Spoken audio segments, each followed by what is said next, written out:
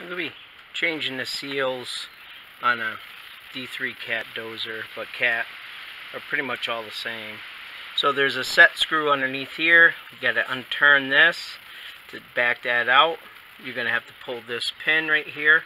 So you take off this nut, drop that out, drive out the pin, lift this up, and I'll show you on the other side how far I am ahead right now. So like I said, I, I pulled the, the bolt out, pulled out the pin, it's right here, and now uh, we're getting ready to back this off.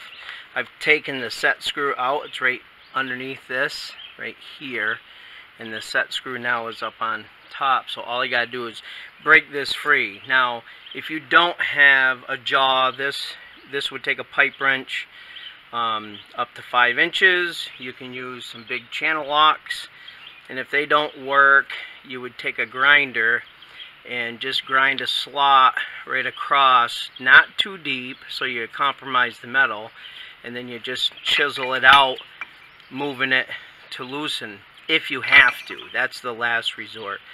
But um, I did put a pair of channel locks on it, these big ones right here, and I was able to break it free. So we will take this apart piece by piece next.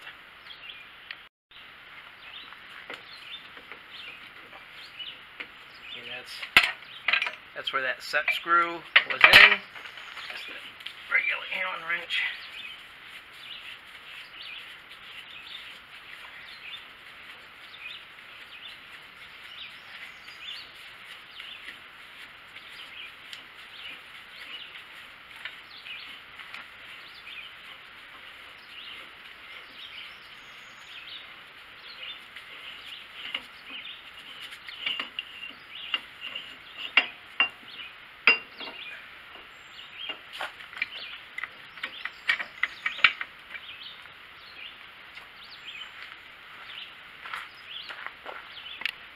So you can see my come along is attached. I have it to a fixed point, another tractor over there with a chain on it. And you just nice and gingerly pull pop this apart. And here's your the seals on the front. There's going to be some on the back. We got to continue out. But we don't want, as we're going out, we're going to raise this up a little bit so we don't scar up or any do any damage to anything here because everything really looks good and shiny and smooth and true. So we just got to change seals. Alright, so the, the come along did a nice job. Now we have everything exposed. What I'm going to do now is flip this around so this end is over here toward the blade and I'll be able to work on getting that big nut or bolt off. That one's a bolt, some of them are a nut. Um, so we got to take it all apart and start replacing the seals. Okay, so now I've reversed this setup.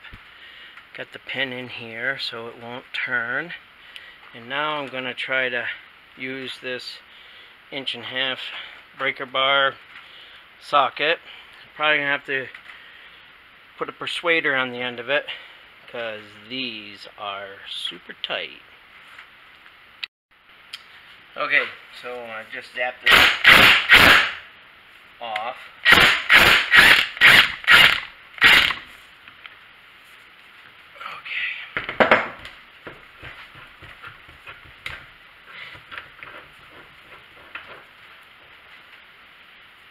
take the washer off with it. There's a gear lube that goes inside uh, where this bolt is. So that's why you want to stand these up and uh, keep that gear lube in there.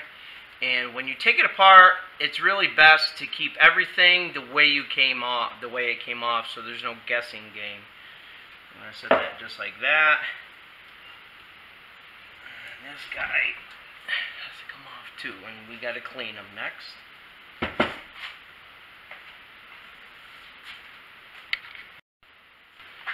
So these are the actual cat brand seal kit. $113 from my local cat dealer.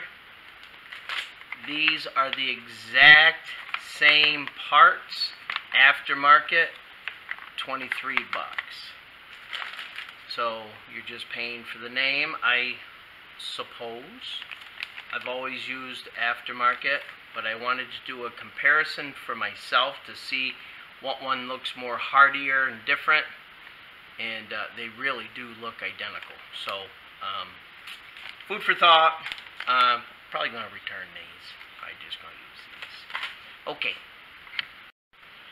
So I like to use these, my dental picks I call them. They're actually carburetor cleaners to get uh, gaskets in and out. So I'm going to set that guy right down there. This guy here, it's just like a bracelet type.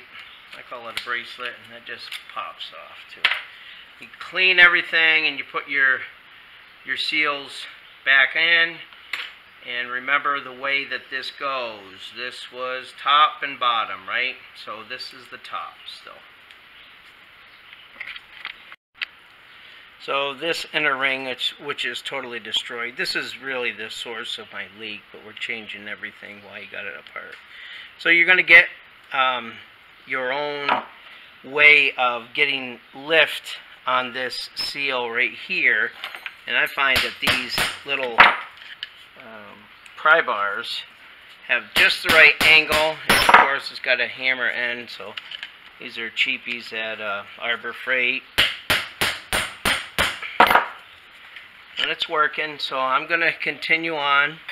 Um, you don't need to watch every second of this. Okay, so I just um, tightened this down. I did replace all the the um, seals uh, and inside and outside. Of course, cleaned everything first, and now we're ready to put it back together.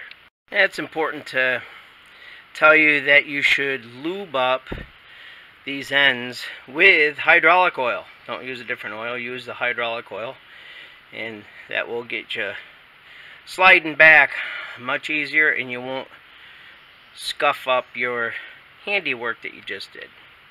Okay, so I got everything pretty much together. I just got to tighten up that bolt. Um, and we'll give it a test run after I top off my hydraulics. And we'll see if there's any weeps. Alright, wish me luck.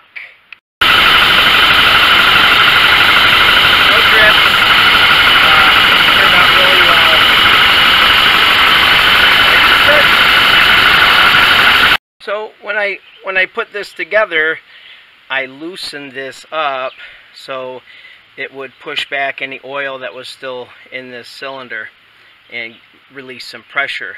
I never tightened it up, so if you see some oil spray, it's because of that. So if you have to do that, make sure you tighten it up is my word of advice. Don't forget, what, don't do what I do. Anyhow, it's all good. No drips, no leaks. Mission accomplished.